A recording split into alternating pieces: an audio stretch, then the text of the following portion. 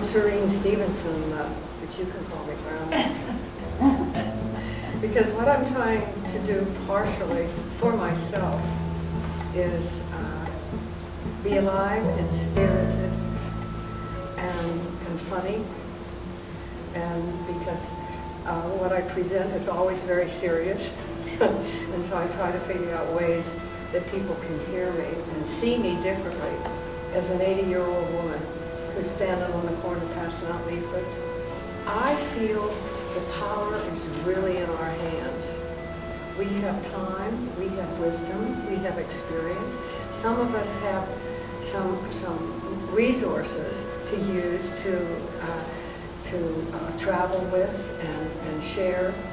And I feel that if our world is going to survive, it will do so if women find their voice, take back their power, and run the show.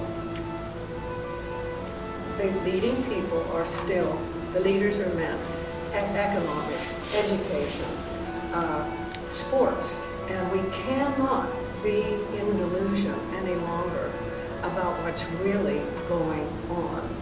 But I, I'm saying that imbalance has to be corrected because uh, men are too important to the happiness of women to, for us to allow them to be swallowed up by power and greed.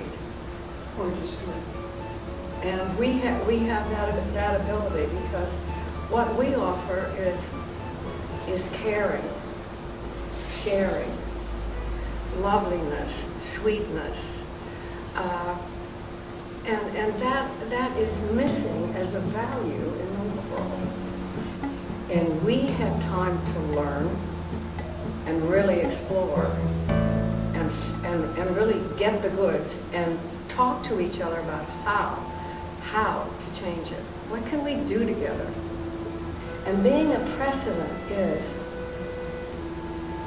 knowing that you have unique abilities and unique wisdom because no one is like you. No one has you to offer to the health of the planet but you.